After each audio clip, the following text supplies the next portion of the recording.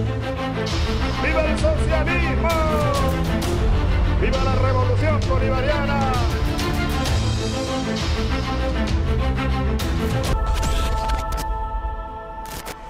Queremos contarles que este pasado fin de semana estuvimos en una jornada intercultural mapuche en la localidad de Benito Juárez, que es muy cerquita de Tandil, y allí participamos desde la madrugada y durante todo el día de distintas actividades, desde la recepción del día, del, nuevo día, eh, junto a el LONCO, la autoridad máxima de eh, la comunidad mapuche de Patagones, y eh, distintas personas y gente que se fue acercando del pueblo que también se sumaron a estas jornadas interculturales. Eh, hubo teatro, hubo música, hubo talleres donde se habló de medicina natural, de partos naturales, también hubo venta de artesanía mapuche y de todo esto eh, hicimos un informe que queremos que lo conozcan y se den cuenta de que hay otra forma de vivir dentro de este mundo tan disparatado que generalmente nos toca eh, diaria y cotidianamente ser partícipes. Vamos al informe.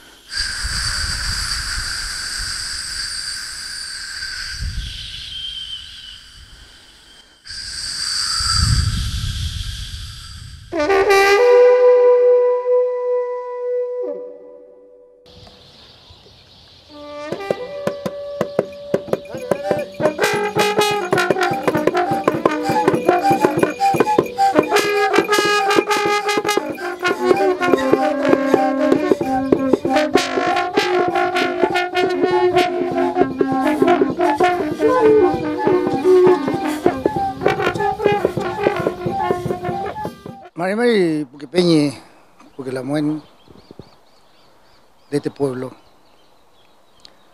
de Benito Juárez. Nosotros seguimos viviendo mal. Nosotros seguimos reclamando nuestro lugar, nuestro lugar de origen. Nosotros somos originarios de la tierra. Somos gente de la tierra nosotros.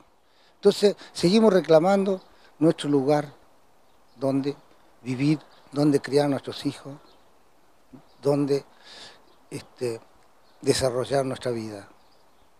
Y lamentablemente, cuando se habla de tierra, cuando se habla de territorio, es una palabra que no tiene, eh, no tiene respuesta. Nosotros no tenemos respuesta de estas cosas. La discriminación.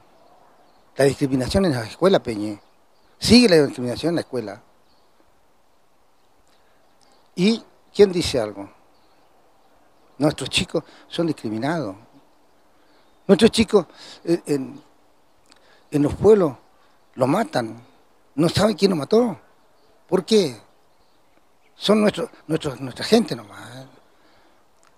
Así que estamos bastante preocupados por esto. ¿no? Thank you.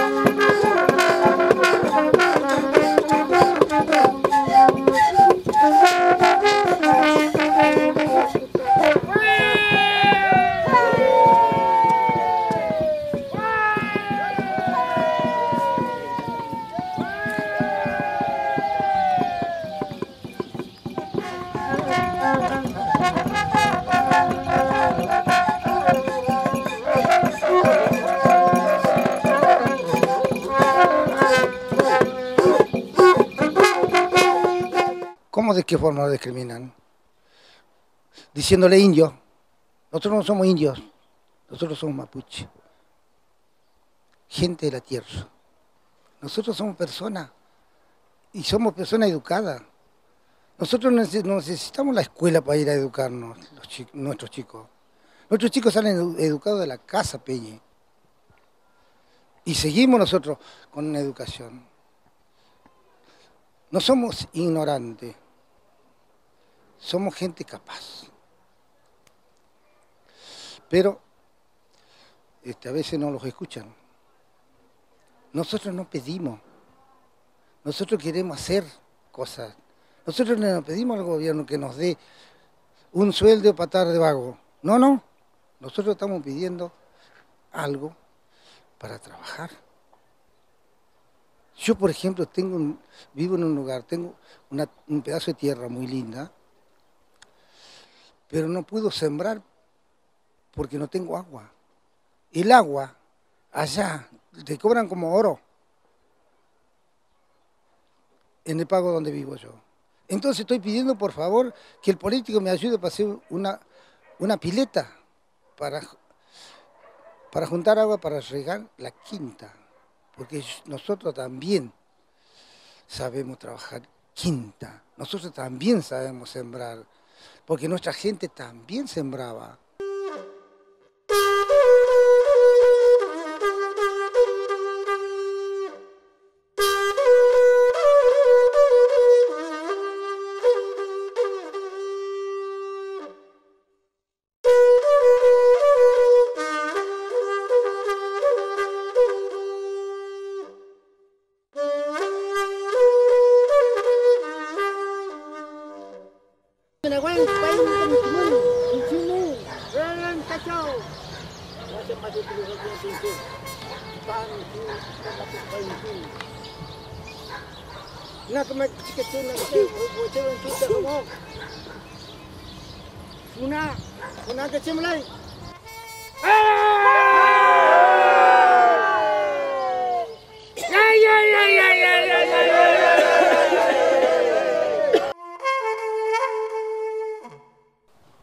Entonces, esa es la, la, diferencia, ese es el problema más grande que tenemos nosotros.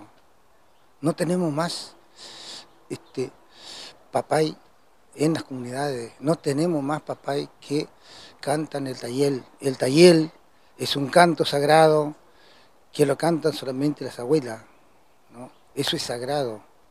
Acá, por ejemplo, este, este pequeño millipún que hicimos nosotros, no se puede cantar el tayel. Los talleres se cantan en las grandes miniaturas, en los grandes camarucos. A la, terminación se canta el taller, pero lo tiene que ser la abuela. Porque la abuela sabe, la abuela es sabia. Entonces fuimos perdiendo mucho la muerte. Ya nuestra cultura, se habla de cultura, pero no sabemos a veces qué es cultura. Cultura no es ponerse un trailonco como lo tengo yo puesto, y ya soy lonco, ya soy, hemos perdido un montón de cosas, inclusive acá en la provincia de Buenos Aires.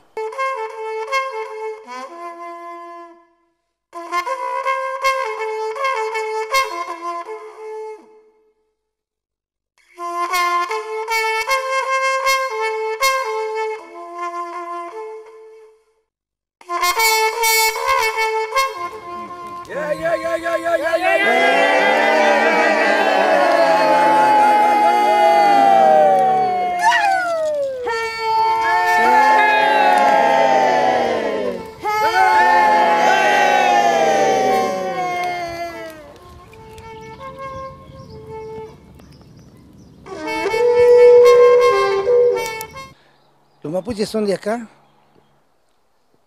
y son de Chile.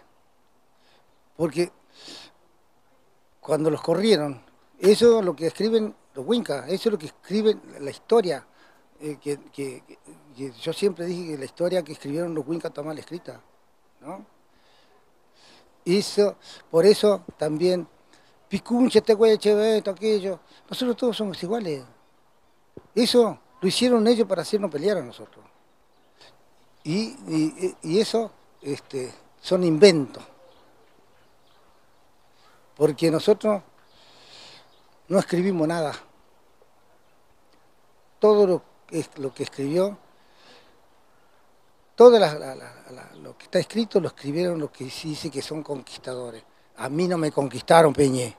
Y se lo digo con todo, con toda razón, con todo sentimiento y todo pensamiento. A mí no me conquistaron. Yo voy a seguir esta lucha. No me voy a pelear con nadie. Yo voy a recuperar mi gente, yo voy a recuperar mi cultura, como tenemos que ser. Nuestra cultura es muy sabia, nuestra cultura es muy sagrada, muy sabia. Nuestra cultura no tenía hospitales, nuestra cultura tenía machi, tenía lonco, sabio, tenía, tenía consejo de ancianos, donde los chicos eran aconsejados. Entonces, ¿quién me pueden hablar a mí de la educación salía de la cultura? De ahí, de la casa, de ahí. Teníamos una educación que es el respeto. El respeto de educación Peñe. Y, no está, eh, y, en las escuelas no está el respeto. Nosotros creemos que la educación es saber leer, saber escribir y ser un gran profesional. No, no. La educación tiene respeto.